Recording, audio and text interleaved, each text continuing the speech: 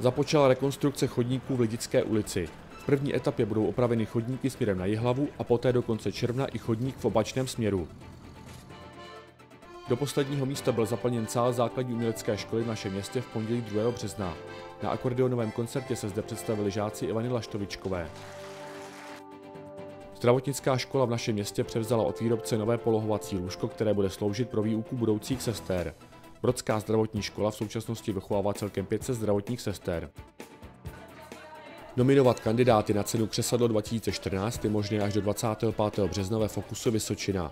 Křesadlo je cena, která se udílí dobrovolníkům z oblasti Havlíčko-Brodská. Předání ceny proběhne 9. dubna. Bročtí hokejisté končí v první lize, kdy dokázali přehrát svého soupeře Prostějov, který rebeli převálcoval 7-2 a v první lize se udržel. Další úspěšný víkend mají za sebou bročtí stolní tenisté. Pavel Širůček získal titul mistra republiky. Dařilo se i v anketě stolní tenista roku. Mezi trenéry zvítězil brodský adept Tomáš Demek a mezi muži Tomáš Tregler. Jako tým obsadil brodský klub druhé místo. Dobrý den, začíná další vysílání z Havlíčko-Brodské radnice. Vítejte u jeho sledování. První zpráva patří zpřátelenému uherskému brodu. Toto město se pomalu a těžce zpamatovává z tragédie, která si vyžádala osm obětí a v historii naší země nemá obdoby. Havlíčko-Brodská radnice chce pozůstalým pomoci. Rada města schválila okamžitý peněžitý dar ve výši 20 tisíc korun. O další finanční výpomoci rozhodnou zastupitelé města. Ano, my jsme tuto situaci konzultovali i s ostatními brody a rozhodli jsme se, že budeme postupovat společně. Na středeční a čtvrteční den jsme vyhlásili černý prapor jako výraz soucítění s obětmi a pozůstalými v Uherském Brodě a dnes na mimořádném jednání Rada města rozhodla o částce 20 tisíc korun, kterou pošle na zvláštní zřízený účet ve prospěch pozůstalých po obětích této tragédie. Chtěl bych říct, že těch 20 tisíc je maximální částka, že Rada města nemohla poskytnout vyšší částku a určitě se budeme věnovat této situaci i na nejbližším jednání zastupitelstva města. Máte představu, kolik by zastupitelstvo města mohlo uvolnit pro Uherský Brod? Vím, že kolegové ve Vyšším Brodě uvolnili částku 100 000 korun. Předpokládám, že návrh, který bude v Havlíčkově Brodě, bude obdobný. Zastupitelé se na svém pravidelném zasedání, kde budou o částce pro Uherský Brod jednat, sejdou v polovině dubna. V těchto dnech začala v ulici Lidická plánovaná oprava povrchu chodníku, která potrvá do začátku letních prázdnin. Omezení se částečně dotkne chodců. Ti budou moci využívat protilehlé chodníky a blízké přechody pro chodce. Dnešního dne, to je 2. března, bylo předáno staveniště a tedy zahájena eh, stavba rekonstrukce oprav chodníků v Lidické ulici. Eh, budeme opravovat úsek na obou stranách komunikace a to zhruba od železničního nadjezdu po křižovatku s ulicemi Uborové a Sekaninova. Eh, součástí této rekonstrukce je nejen oprava krytů chodníků, ale i výstavba dešťové kanalizace a výstavba nového veřejného osvětlení. Eh, stavba je naplánována do prázdnin letošního roku, takže 30. června bude hotová. Eh, samozřejmě, že bude znamenat dopravní omezení, za které se dopředu omlouváme, ale toto omezení by mělo být pro chodce, protože se jedná o opravu chodníků a na vlastní komunikaci by již neměly probíhat uzavírky. Každoročně oceňuje Fokus Vysočina dobrovolníky cenou křesadlo. Nejinak tomu bude i letos. Ale aby mohl být někdo oceněn, musí být také nominován na udělení této ceny.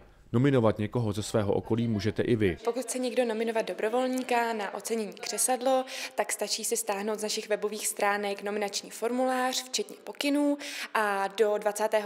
března je možné eh, zasílat ty nominace přímo mně. Nedělíme vůbec dobrovolníky do žádných kategorií, je to prostě jedna, jedna cena pro eh, všechny dobrovolníky. Jedinou podmínkou eh, pro ty nominované je, aby v roce 2014 vykonávali nějakou dobrovolnickou činnost a aby to bylo v regionu Havlíčko-Brodská nebo Chotěbořská a tak nějak okolí.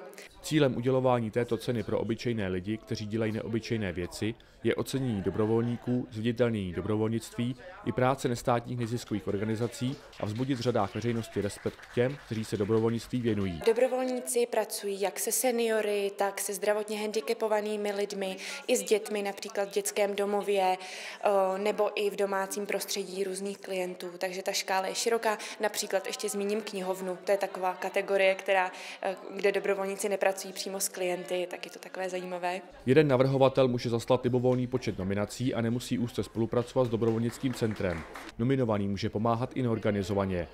Podmínkou je, aby navrhovaný vykonával v průběhu roku 2014 dobrovolnickou činnost na Havlíčko-Brodsku. Uzávěrka nominací je 25. března. Slavnostní předávání ceny křesadlo se uskuteční 9. dubna v Chotěboři. V průběhu měsíce března můžete v prvním patře městského úřadu v Rámech navštívit tématickou výstavu s názvem Nakupování pod drobnohledem. Organizátoři se zaměřili především na spotřebitelské chování, odpovědné nakupování či užití reklamy. Součástí výstavy je odborně zpracovaný výukový program pro žáky základních i středních škol a veřejnost. Program pro školy je nutné objednat předem. Počet míst pro veřejnost je také omezen. Bližší informace najdete na níže uvedených webových stránkách.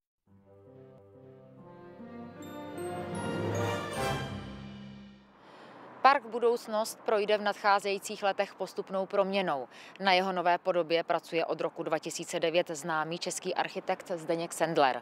Svoje návrhy už několikrát představil odborné i laické veřejnosti při diskuzích s obyvateli města. Veřejná debata měla význam v tom, že jsme více uvažovali o cyklostezkách a o nějakém způsobu dopravy a e, o, nějakým, o nějaké koexistenci jako vůbec provozu v tom parku. A takže to bylo dobré, že jsme si to jako vytříbili a myslím, že i ze zástupci radnice se to někam posunulo, nebo i veřejnosti. Na setkáních s veřejností se diskutovalo nad novou zelení, místy k odpočinku i moly nad hladinou rybníků, či o vedení jednotlivých cest a cyklostezek. A potom jsme tam zakomponovali nějaké připomínky, které tam byly ohledně cest pro šlapů, které jsme zohlednili a myslím, že jako k dobru věci. A od té doby vlastně se posunula na základě ještě vyjádření dotčených orgánů. Někteří byli velmi příjemní, přístupní a někteří byli velmi komisní a netolerantní vůči, vůči nám, takže jsme třeba posouvali, malinko jsme posouvali eh, v té centrální části, jsme posouvali ten objekt eh, eh, správce nebo zázemí nebo té lehké kavárničky a záchodu nebo sociálního zázemí. Tyto nové objekty by měly být umístěny pod hrází rybníka Hasterman v místě Dětského hradu, kde vznikne malý přírodní amfiteátr pro pořádání kulturních vystoupení. Největším oříškem pro autory studie je místo přemostění výpustí rybníka Hasterman, a prudká cesta kolem vodopádu směřující do ulice Prokopa Holého. To je nejproblematičtější a na druhé straně nejkrásnější, protože ta změna bude úžasná.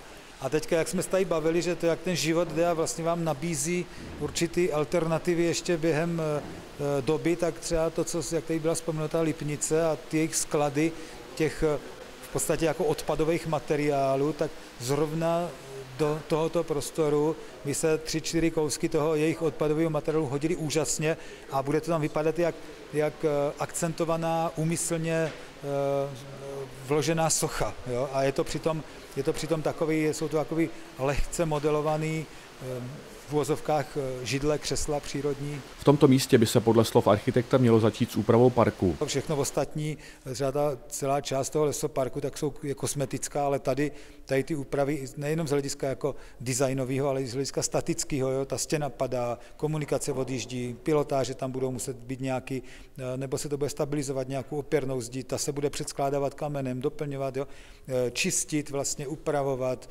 jiná, jiná charakteristika dětských hřišť, jako jednodušší, funkčnější, eh, bezpečnější, pocitově, pohledově, provozně. Jo.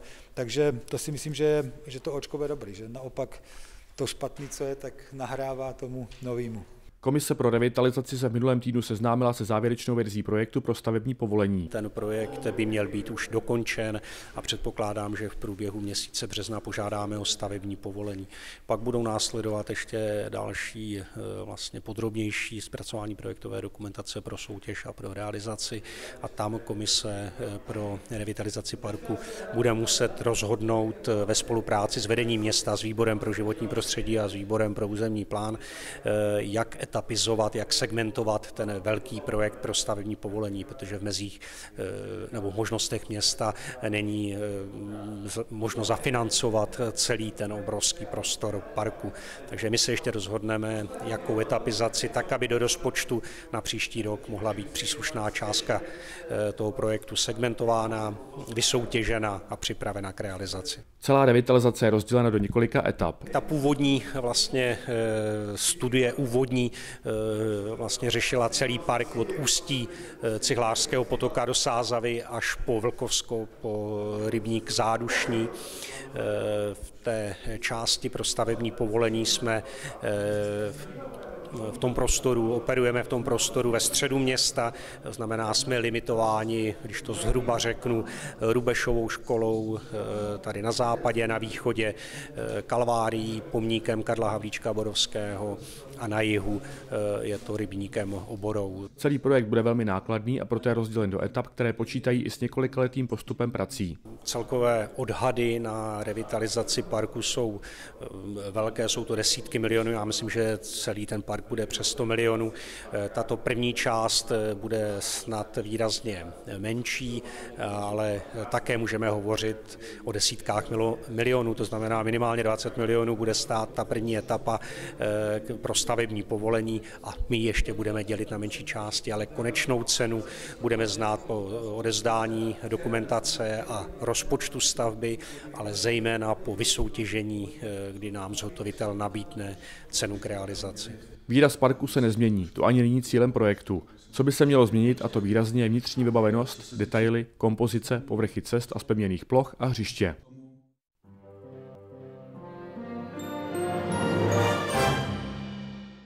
Hudební festival Stamicovy slavnosti, který má v našem městě už dlouhou tradici, bude letos pokračovat svým 14. ročníkem. Úvod festivalu ale pojali organizátoři tak trochu netradičně. V komedii s názvem Domácí představení spojili divadlo s hudbou. Kromě známých herců se představí i Stamicovo kvarteto. To divadelní aktovka, je to vlastně divadelní hra s hudebními stupy a je to komedie o, o, o významu umění v našem, v našem životě. Je to takové nadčasové téma. Zvolili jsme toto netradiční zahájení z toho důvodu, že jsme chtěli nějakou změnu, aby, aby broští posluchači a diváci si přišli taky na, na, něco, na něco jiného, nejenom na, takzvanou vážnou muziku. V hlavních rolích se představí známé herecké osobnosti, jako například Jan Kačer, Nina Divíšková, Táňa Fischerová nebo Roman Hájek. Zahajovací večer stamicových slavností proběhne v pátek 13. března od 19 hodin v sále Staré radnice. Další koncert organizátoři naplánovali o týden později, tedy na 20. března, a začne v 18 hodin také v sále Staré radnice a v jeho rámci vystoupí žáci základní umělecké školy Jana Václava Stamice. A podrobné informace ke všem připravovaným koncertům najdete na webových stránkách www.stamic.cz. Čtvrthodinka určená pro dnešní vysílání je u konce. Mějte se hezky a příště s Klárou na viděnou.